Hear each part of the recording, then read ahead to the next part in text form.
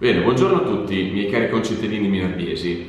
Eh, vorremmo oggi dare un piccolo contributo, eh, piccolo che però crediamo possa essere dirimente, al dibattito che c'è stato negli ultimi mesi sul rapporto fra l'ambiente, la salute e la sicurezza di Minervio e la presenza della centrale di compressione del gas di Stogit.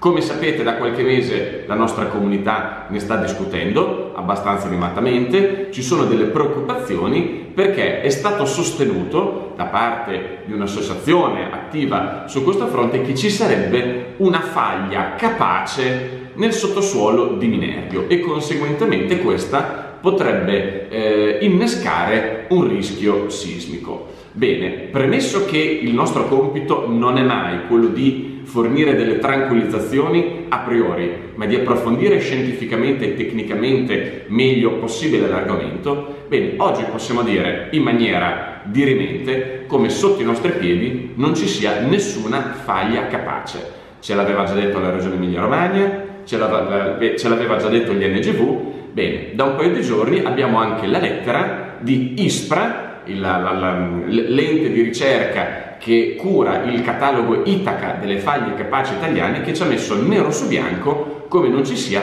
nessuna faglia per l'appunto capace. E perché sottolineiamo questo aspetto? Perché vorremmo che fosse chiaro che questo progetto di cui stiamo parlando è un progetto voluto dal Ministero dello Sviluppo Economico, dal cosiddetto MISE, e proposto da Stogit. Il nostro compito come comune, essere controparte di questi soggetti e cercare di avere massimi, i massimi approfondimenti possibili per capire di che cosa si sta parlando a tutela dell'ambiente e della nostra comunità. Ed è per questo che ci dispiace che tutti in questi incontri, in questi dibattiti, Snam Stosic non abbia mai partecipato esatto. e non abbia mai dato il suo contributo, perché, anche perché, come diceva Lorenzo, vorrei che non passasse il messaggio che è l'amministrazione comunale di Minervio a volere l'ampliamento dello stoccaggio e l'aumento della sovrappressione. E assolutamente non è così, è... Uh, volontà del Ministero dello Sviluppo Economico su proposta appunto di Sname Stoci.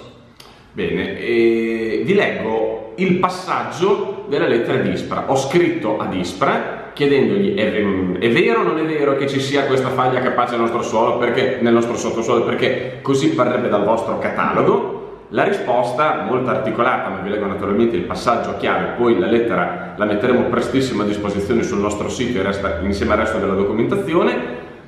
Dice ISPRA, la faglia di Minervio, sulla base delle conoscenze ad oggi disponibili e delle linee guida della protezione civile del 2015, non è da considerarsi una faglia capace accertata. Mi sembrano parole assolutamente stentore che dovrebbero a questo punto chiudere almeno questo filone di dibattito. Perché dico questo filone? Perché non è che la presenza della centrale Stogit, come abbiamo sempre detto, non sia significativa. Non è che non sia una presenza ingombrante, ma concentriamoci su quelli che sono i veri problemi, le vere criticità. Ad esempio il tema della qualità dell'aria, per cui stiamo cercando di organizzare un dibattito che speriamo possa essere a metà marzo, giorno più, giorno meno.